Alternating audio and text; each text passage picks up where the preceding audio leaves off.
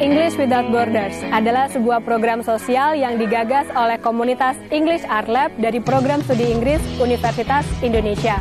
Program ini bertujuan memberikan pendidikan bahasa Inggris cuma-cuma kepada anak-anak dan remaja yang kurang mampu.